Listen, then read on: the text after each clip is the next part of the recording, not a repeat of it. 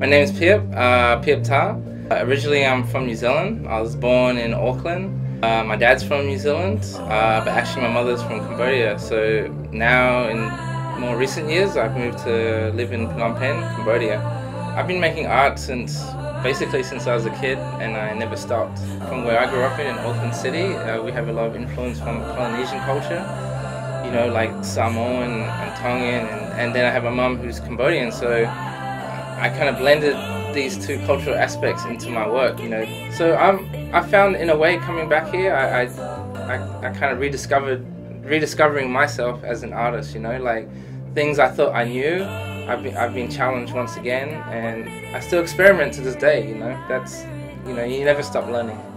Well, it always starts in in, in a I draw it first. You know, I, I sketch it down. So this is an example. You know, I have my pen.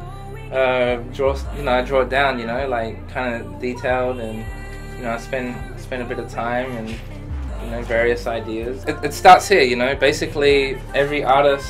Um, you know, the foundation is in your sketchbook.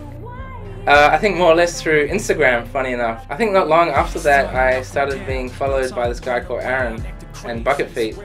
I think they're really about art, you know, they're really about art from all over the world. They're not just looking for um, people with names or whatever. I think they're just looking for people that they like. Actually, I think it's really cool to have um, my artwork on shoes, on sneakers.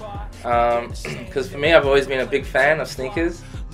I think art as a whole, you know, art is a very powerful force, you know, that, that can move people.